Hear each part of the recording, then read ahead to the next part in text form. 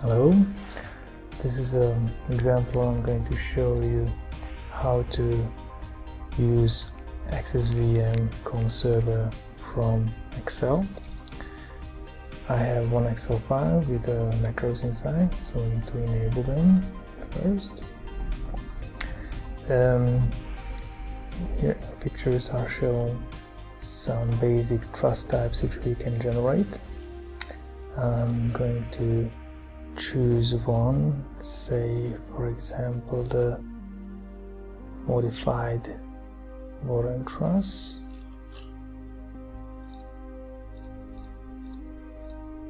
So I need to choose that one. It's here. I can use a steel grade, say I'm going to use S355. I can use uh, cross sections. For top chords I'm going to use a bigger section here, slightly bigger here, and even bigger here. Um, this is a height at the beginning, H1, and in the middle. Let's change this to 2, this one to 3. Let's make the span to 30 meters. And the geometry, which is basically how many times I'm going to use here, to 6. Alright, this is uniform distributed load as point loads on nodes at top.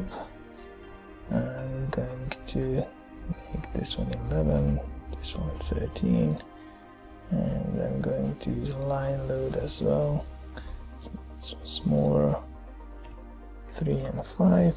These are uh, factors used for critical moment can leave it as it is and here I'm going to get some values soon. Let's click on run. As we'll build a model in AxisVM and runs the analysis as well. And here I'm getting the message that it's all done. Um, here you can see the applied loads. I'm going to switch them off and see what results I'm getting here. This is vertical deflection.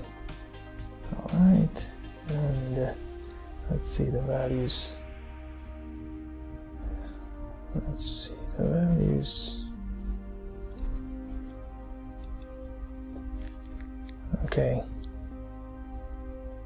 I think I need to show them the lines as well. Alright, it's 24.7 millimeters from the dead load. And if you go here you can see it's the same value 24.7 27.1 from the live load.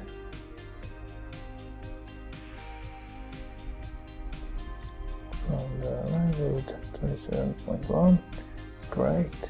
And let's see what utilizations. You get of efficiency.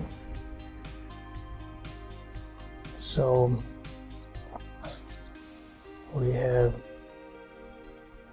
um, I'm going to switch off the members. Structure members okay. So on the top the maximum is 0678 let's compare that.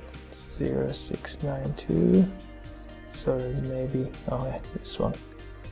0692 um, the bottom chords 0294 it's here. And the diagonals.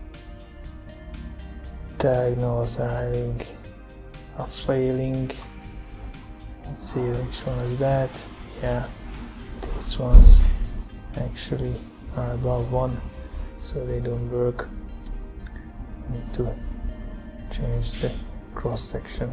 So yeah this is a little demonstration of running AxisVM from Excel